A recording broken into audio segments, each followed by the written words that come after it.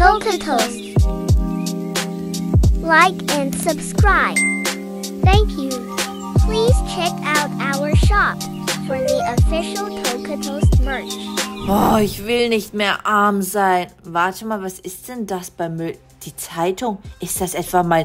Da, das ist mein Bruder. Da steht Bikini Bottoms jüngster Millionär. Eigentlich sollte es mein Name sein, das in der Zeitung steht und nicht seines. Während ich in Armut lebe, hatte er so ein gutes Leben.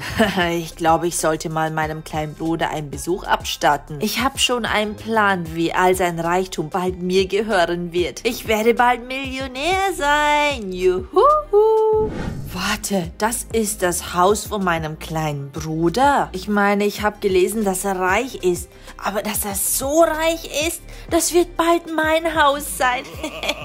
ich bin wieder zurück von der Arbeit. Was macht ihr beide denn hier? Papa, Papa, du bist wieder da. Ich und Mama, wir kochen dir dein Lieblingsgericht. Ist es etwa Dörre mit Zwiebeln? Ja, genau, ein Dörrem-Kebab mit extra vielen Zwiebeln. Und als Beilage gibt es einen Vanille-Milkshake mit Zwiebeln und Knoblauch. Oh, ihr beide kennt mich einfach zu gut. Ich liebe Zwiebeln und Knoblauch über alles. Hä, wer könnte das nur sein? Da klingelt jemand an der Tür. Schatz, erwarten wir vielleicht noch Besuch? Ah, ich glaube, das muss der Postbote sein. Ich habe wieder was bei Gucci bestellt. Kannst du es mir bitte abholen gehen? Was fällt denen ein, mich so lange warten zu lassen? Aber das ist wohl ein kleiner Preis, den ich zahlen muss, denn bald gehört die Villa mir. Also ich glaube, meine Frau ist ein Shopaholic. Wir bekommen so viele Pakete wegen ihr jeden Tag. Na, Lukas, erinnerst du dich noch an mich? Tommy, was machst du denn hier? Ich dachte, du wohnst in New York. Ich habe dich schon so lange nicht mehr gesehen. Ach, du weißt doch, wie es ist, reich zu sein. Meine Firma ist so gut gegangen, dass ich jetzt in Pension gegangen bin und wieder zurückgezogen bin. Was, wirklich? Das ist ja wunderbar, dass du wieder hierher gezogen bist. Oh,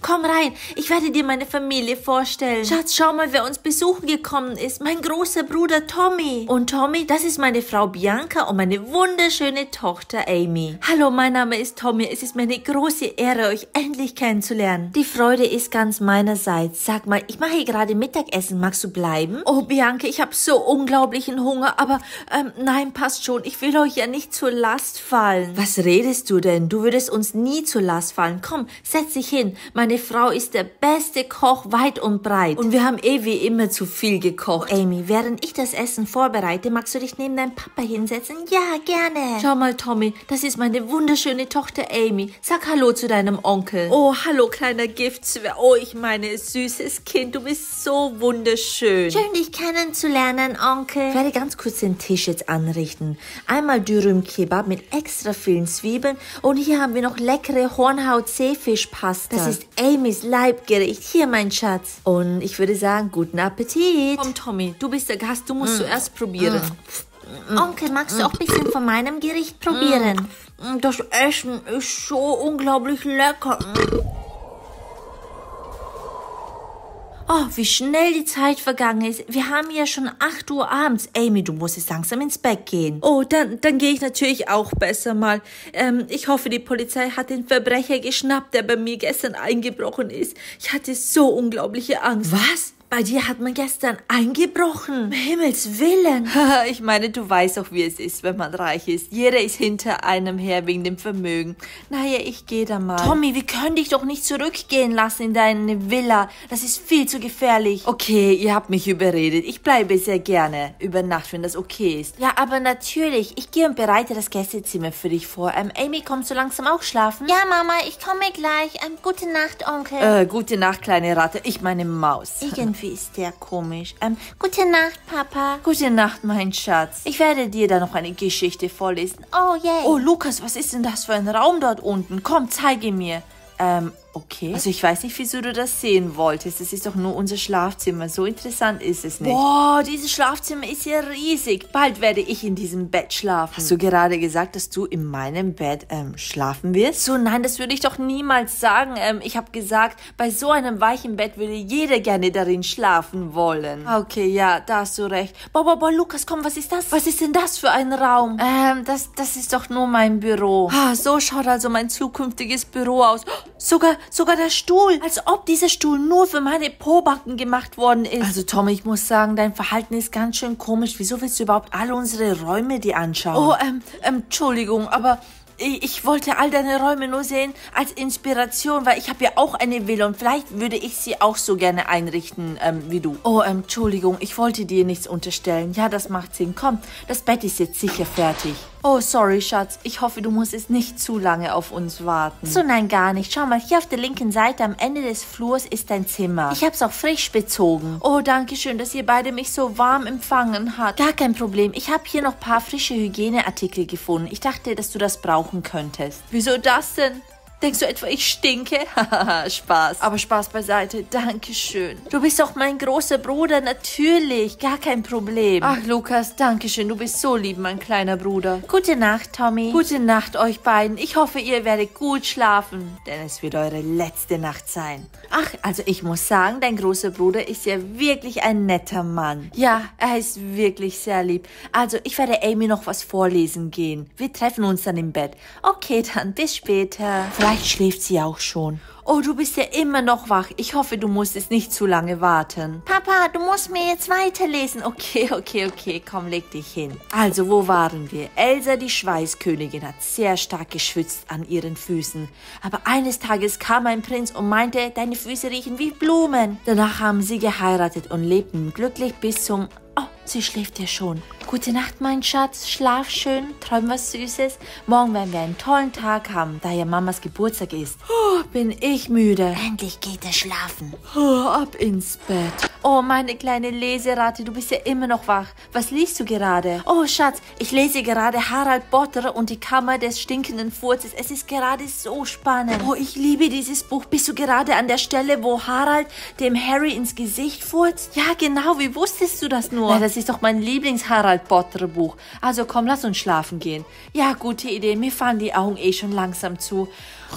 Oh, ich liebe ihr Schnarchen. So süß. Gute Nacht, mein Schatz. Bis morgen. Oh, das hat aber lange gedauert. Endlich kann ich mit meinem Plan anfangen. Lockern wir die Schrauben hier ein bisschen. Okay, und hier ein bisschen. Perfekt. Ah, zur Sicherheit noch hier ein bisschen. Das wird wohl ihre letzte Nacht in diesem Haus sein. Weil morgen wird es mir gehören. Ich werde bald reich sein. Heute ist Mamas Geburtstag. Ich werde sie überraschen mit Frühstück im Bett. Und zwar werde ich Zwiebelpfannkuchen mit Zwiebelsirup machen. Oh, wie lange wollen Sie mich noch warten lassen? Ich dachte, um diese Uhrzeit gehen Sie immer in die Arbeit. Außer ist heute etwa ein spezielles Ereignis? Lalalala. Ich hoffe, Mama und Papa werden sich über Frühstück im Bett freuen. Komisch, wieso geht denn der Aufzug nicht? Oh nein, oh nein, Hilfe! Oh nein, es hat die falsche Person erwischt.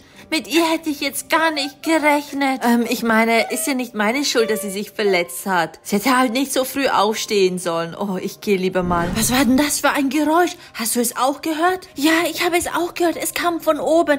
Amy, wir müssen uns beeilen. Ich hoffe, ihr ist nichts passiert. Amy, mein Schatz, was ist passiert? Geht es dir gut? Sag doch was. Amy. Sie bewegt sich nicht mehr. Was ist denn los? Amy, was ist denn nur passiert? Amy, sag doch was. Schatz, bitte bleib du bei Amy. Ich gehe schnell den Krankenwagen rufen. Oh nein, ich glaube, es lag am Aufzug. Amy, mein Schatz, bitte halte durch. Der Krankenwagen ist schon auf dem Weg. Halte durch, mein Schatz. Wir sind gleich im Krankenhaus. Bereitet sofort den Operationssaal vor. Wir haben einen Notfall hier. Wir müssen uns beeilen. Ihr Herzschlag wird immer schwächer. Es ist ein Wunder, dass sie überhaupt überlebt hat. Ihr Herz hat aufgehört zu schlagen. Wach auf, Amy. Wach auf. Oh, ihr Herzschlag ist wieder da. Wir müssen sie sofort notoperieren, sonst ist es nämlich zu spät. Herr und Frau Schneider, es tut mir so leid, ich habe schlechte Neuigkeiten.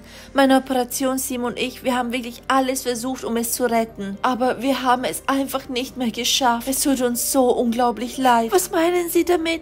Wie geht es meiner Tochter? Ist sie etwa? Frau Müller, beruhigen Sie sich bitte. Ich glaube, am besten ist es, wenn Sie selber sehen, was mit Ihrer Tochter passiert ist. Wir haben wirklich alles versucht um ihr Augenlicht zu retten, aber leider haben wir es nicht geschafft und ihre Tochter ist darum blind. Aber ihre Tochter war so stark während der Operation. Es ist sowieso ein Wunder, dass sie überhaupt überlebt hat. Herr Doktor, was meinen Sie damit, dass sie überhaupt überlebt hat? Ihre Tochter hatte so starke Gehirnverletzungen, sie hätte das nicht überleben sollen. Es kommt mir so vor, als hätte sie ein Schutzengel oder irgendwas beschützt. Aber dafür wird sie leider für den Rest ihres Lebens nie wieder sehen können. Oh, Amy, es bricht mir einfach das Herz, sie so leiden zu sehen. Herr Doktor, wann wird sie aufwachen? Ihre Tochter braucht jetzt sehr viel Ruhe. Deshalb wird sie über Nacht im Krankenhaus bleiben müssen, damit wir ihre Werte immer wieder überprüfen können. Gehen Sie bitte nach Hause und ruhen sich aus. Okay, pass, Herr Doktor. Amy, du musst stark bleiben. Mama und Papa kommen morgen wieder. Wir lieben dich. Ich kann nicht glauben, dass sie blind ist. Mein armes Baby. So, dieses Mal wird es aber funktionieren. Oh, Tommy, was machst du denn hier? Oh, ähm, kleiner Bruder, ihr, ihr seid ja schon so früh zurück.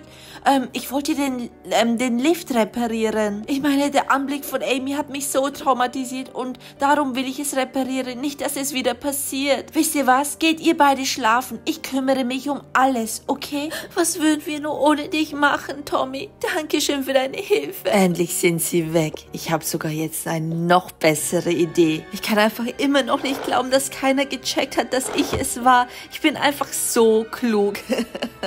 Und jetzt habe ich noch einen besseren Plan.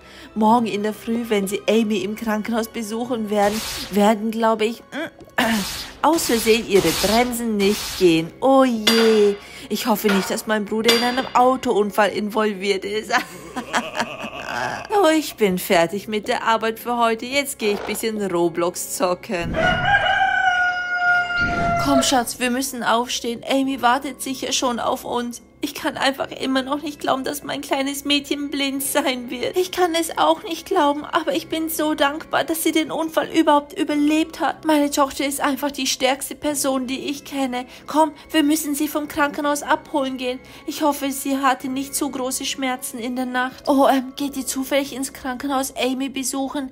Ich habe ihr gestern ein Plüschtier gekauft. Ich hoffe, ihr geht es bald besser. Könnt ihr das mitnehmen? Dankeschön, Tommy. Darüber wird sie sich bestimmt freuen. Komm, lass uns gehen. Ich glaube nicht, dass sie das Spielzeug jemals bekommen wird. Nach dem gestrigen Unfall ist mir bewusst geworden, dass Geld und alles Materialistische keine Rolle spielt, solange meine Familie gesund ist. Das Auto geht wieder! Endlich ist der Tag gekommen, auf den ich so lange gewartet habe. Ich muss nur noch traurig ausschauen. Perfekt, so kauft es mir jeder ab. Herr Doktor, Herr Doktor, was ist mit meinem Bruder passiert? Bitte sagen Sie mir, dass es ihm gut geht. Oh, Sie müssen sein Bruder sein. Ich habe schlechte Nachrichten. Was meinen Sie mit schlechten Nachrichten? Bitte sagen Sie mir, dass es meinem Bruder gut geht. Mein tiefstes Bedauern. Es tut mir so leid, aber beide Ehepaare haben es nicht geschafft. das kann doch nicht wahr sein. Einfach schrecklich, wie viel Unglück diese Familie hatte. Ich hatte schon Angst, dass die Tochter von ihnen ein Waisenkind wird, aber zum Glück gibt es noch Familienangehörige. Keine Sorge, Herr Doktor, ich werde mich gut um das Geld kümmern. Oh, ähm, ich meine meine kleine süße Nichte. Haha, ich habe es endlich geschafft. Ich bin Multimillionär. das kann doch nicht wahr sein. Ihr Herzschlag ist zurückgekommen. Was? Das ist ja ein Wunder. Als ob ein Engel sie beschützt hat. Aber was sollen wir jetzt tun? Wir haben sie schon notoperiert und es hat nicht geholfen schlafen, dann müssen wir sie in ein induziertes Koma setzen und einfach hoffen, dass sie bald aufwachen. Hallo Toasties, ich bin es, der beliebteste und tollste Charakter von dieser neuen Story. Ich hoffe, ihr mögt mich. Schreibt es in die Kommentare, was ihr von mir denkt. Auf jeden Fall, mein Bruder kann nicht hier sein, um euch zu grüßen, deshalb werde ich die Superfans grüßen. also ganz liebe Grüße an Nasira Omundo. Ähm, leider kann ich deinen Namen nicht aussprechen, es tut mir sehr leid.